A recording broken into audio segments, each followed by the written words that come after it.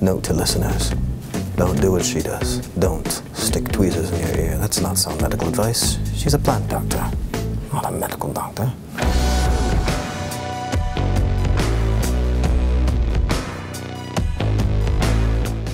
Welcome, my friends, to the undergrowth. This is where we speak with celebrated scientists and eminent educators about plants and pests.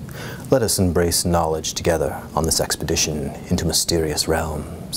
I'm Sebastian Eugene Bartholomew, and this is The Undergrowth. Today, I have the pleasure to introduce Miss Ashley Dean, an extension specialist who focuses on field crop entomology at the distinguished Royal Academy of Iowa State University. We are discussing the insect pest trapping network coordinated by Miss Dean in the PPEM department, and for those of you who don't know, that's an acronym that stands for People Pushing Entomological Manifestos. Is this correct, Miss Dean? I don't think that's quite right. I think it's plant pathology, entomology, and microbiology. Oh. Well, in my line of work, sometimes you have to be wrong in order to be right 100% of the time. Mm-hmm. Well, Miss Dean, will you tell us a little bit about yourself and how you became a field crop entomologist?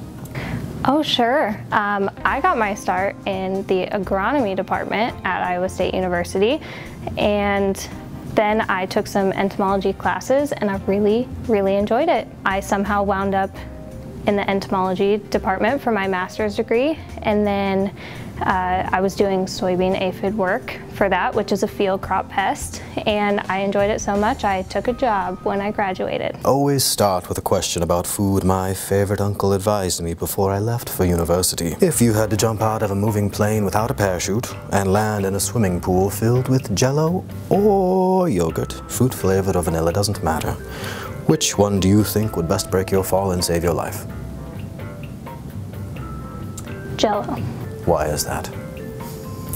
um, because it's bouncy. That's what everyone always says, and everyone is always wrong.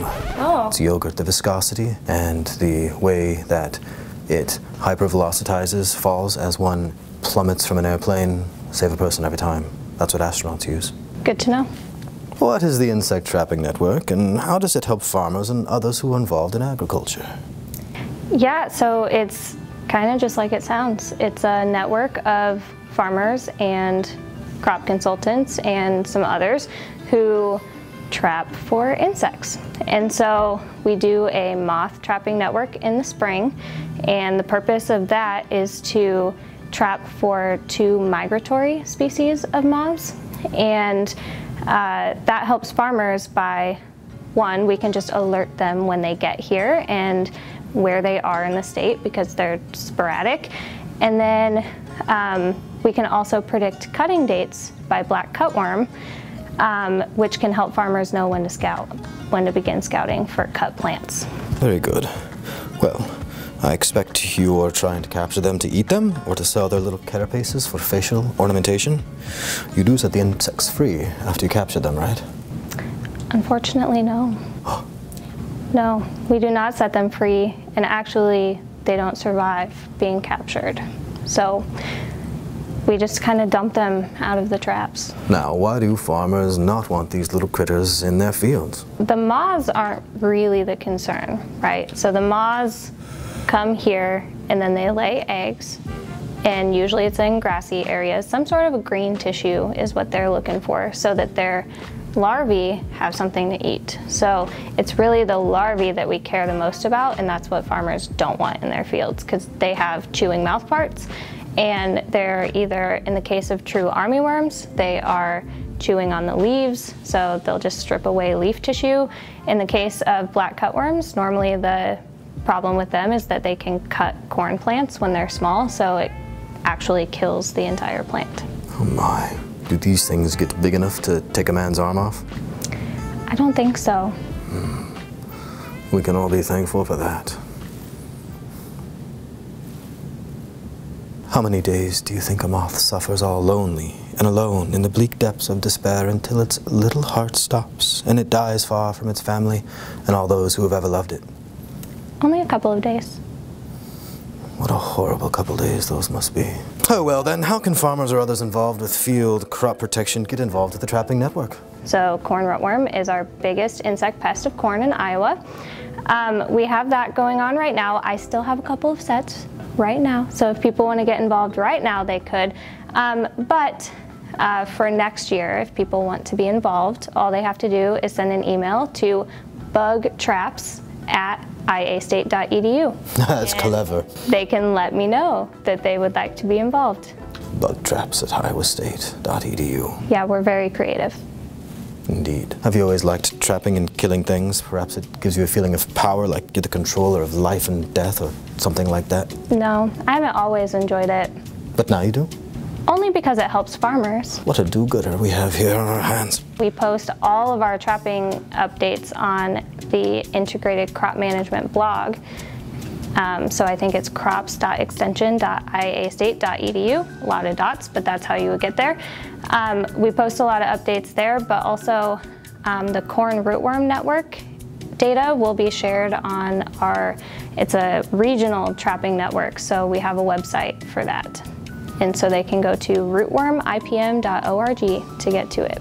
Marvelous. In days of yore, there were despotic kings who would torture their maladjusted subjects in the dungeon on all sorts of devices, but we're civilized these days and we just torture insects using sticky traps. Will you explain to us what it is you have in your hand and how it works? Yes, so what I have in my hands is a sticky trap to capture corn rootworm beetles. So this is what we would use for the corn rootworm monitoring network. It is really sticky on the inside, but basically this is what it looks like when you get it.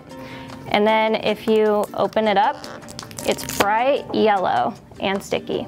The yellow is to attract the beetles, they're attracted to this color, and then the sticky is to capture them so that they can't move and we can count them in the fields.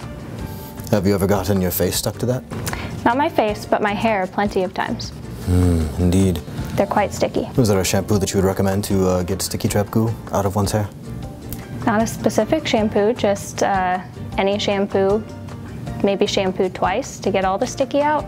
Man, viewers didn't know they would be getting hygienic advice today as well, but I'm here for them. Yeah. you are. Thank you. Have you ever pulled a live insect out of your ear? Actually, I think I have. How do the moths know how to get to the sticky traps that you set out for them? They are attracted by pheromones. So we put a little rubber septa that's uh, loaded up with a pheromone inside the trap. And so the males are attracted to it because it's a sex pheromone. So they think it's a fem- female moth. And then when they get into the trap, they get stuck to the sticky bottom. Those poor chaps. How do you sleep at night? On my side, usually.